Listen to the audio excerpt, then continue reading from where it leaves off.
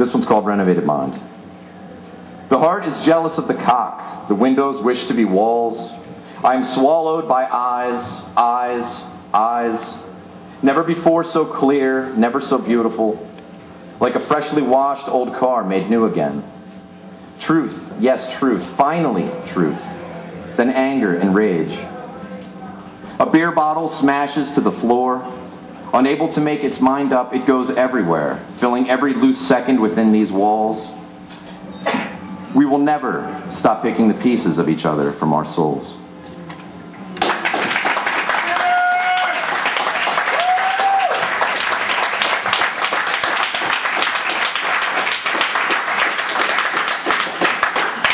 This is called Cabbage Patch Kid in the Mouth of a Lion.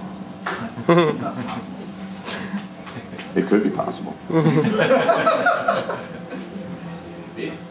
Crawling the cave of yourself, pitiful hands and bruised knees, stomach, soul.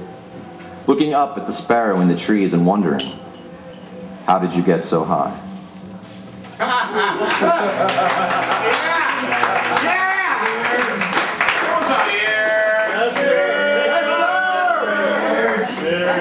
can't even grow a beard. I can't. This poem's called My Father's Second Wife. He's on to his third wife now. This is about his second one.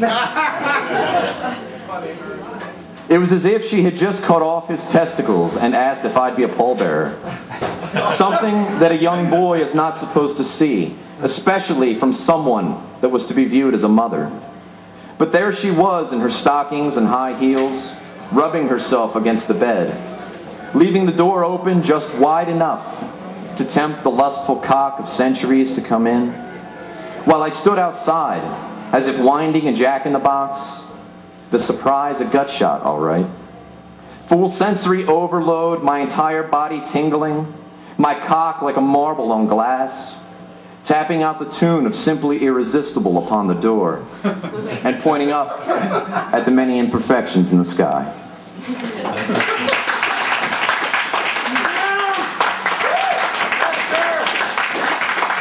Just realizing I talk about cocks a lot. I'm sorry. No, I don't, I don't know what that means. More more cocks! I'm thinking of juice. That's what it is. This one's called In Our Old Age. Like sun climbing the ladder of a rose, it will come, like wax of the moon or derision of Columbus's compass. Morning, a rock through the window or spoiled peach, still clinging to trees that wave summer away. The millions of tiny ant-like smiles that drip from the seconds as skeletons swim a sea of soft flesh. And eyes, eyes that still hold a glistening wonder, tunnel through you like rockets in reverse, their cauterized wounds left behind.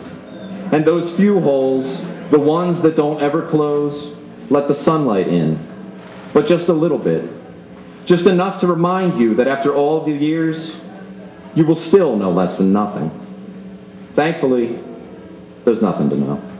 Oh, yeah.